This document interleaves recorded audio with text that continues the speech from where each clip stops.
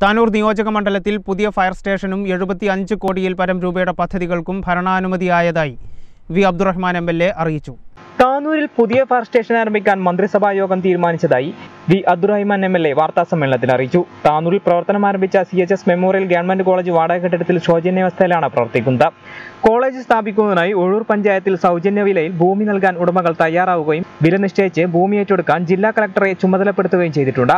ഭൂമി ഏറ്റെടുക്കാൻ അഞ്ച് കോടി രൂപയും കെട്ടിടം നിർമ്മിക്കാൻ ആദ്യഘട്ടത്തിൽ പതിനഞ്ച് കോടി രൂപയും അടക്കം ഇരുപത് കോടി അനുവദിച്ചിട്ടുണ്ട്. അതിൽ പ്രധാനപ്പെട്ട കുറേ പ്രവർത്തികൾക്ക് സർക്കാർ അംഗീകാരം നൽകിയിട്ടുണ്ട്. അതിലേറ്റവും പ്രധാനപ്പെട്ട താനൂരിൽ ഒരു ഫയർ സ്റ്റേഷനാണ്. നിരവധി വർഷങ്ങളായിട്ടുള്ള ഒരു ആവശ്യമായിരുന്നു. അത് അംഗീകരിച്ചു അത് ജീവായി വന്നിട്ടുണ്ട്. അപ്പോൾ അതിന്റെ പ്രവർത്തനം നമുക്ക് ഈ തെരഞ്ഞെടുപ്പ് കഴിയുന്നതോടുകൂടി താനൂരിൽ പുതിയ ഫയർ സ്റ്റേഷൻ പ്രവർത്തനം ആരംഭിക്കും. പിന്നെ താനൂരിൽ ഏറ്റവും വലിയൊരു പ്രശ്നം താനൂർ ഗവൺമെന്റ് കോളേജായിരുന്നു. സി എച്ച് മുഹമ്മദ് കോയയുടെ പേരിലുള്ള ആ വലിയൊരു സ്ഥാപനം ഇന്ന് ഒരു വാടക കെട്ടിടത്തിൽ ഒരു ഫിഷ് മാർക്കറ്റിന്റെ മുകളിൽ ഒരു പള്ളി കമ്മിറ്റിയുടെ കെട്ടിടത്തിലാണ് പ്രവർത്തിക്കുന്നത്.